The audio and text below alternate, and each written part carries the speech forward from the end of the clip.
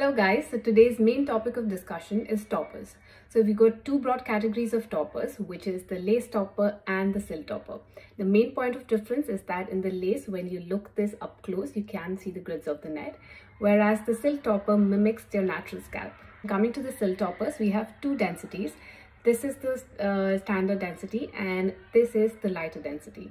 The standard density is ideal for people who have been using toppers and are used to having voluminous hair and want to opt for something that has more volume, then the standard option is the best choice. But if you are someone who is probably buying a topper for the first time and had a lot of thinning, so maybe the lighter density would be the ideal one for you because it doesn't have too much hair. So it's going to give you a much natural feel and then you can slowly transition to the standard one. You can decide on what length of the topper to go for, whether it's lace or silk, depending on how big the concern area is.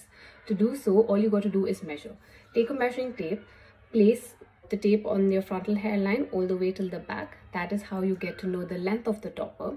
And to measure that diameter, you first part your hair. Say suppose you part your hair onto the side. Then you take the measuring tape and measure the concern area. If suppose your thinning is about two inches, make sure you go an inch more so that you have enough hair to grip the clips onto.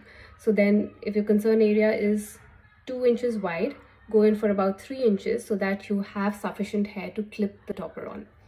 And as far as the length is concerned, most of the toppers are about five inches. Uh, but if your concern is receding 5 inches, that's not to worry because there's always hair at the back of the topper which is going to cover your concern area. Now after you know the dimensions, you can figure out the size of the topper. After doing so, you can choose whether you want to opt for the lace or the silk depending on your budget and whether you want to opt for the standard or light density in the silk. I hope this video was helpful.